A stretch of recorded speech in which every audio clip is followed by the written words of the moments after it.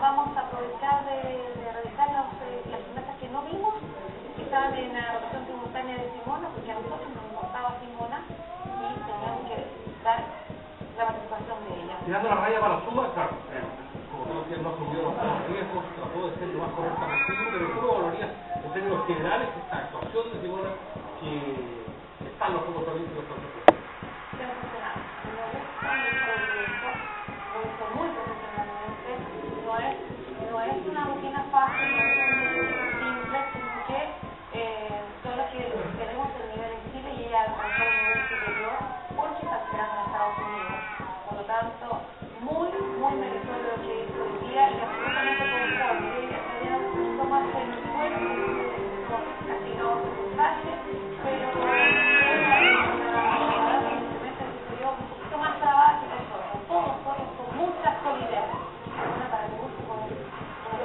Pedro.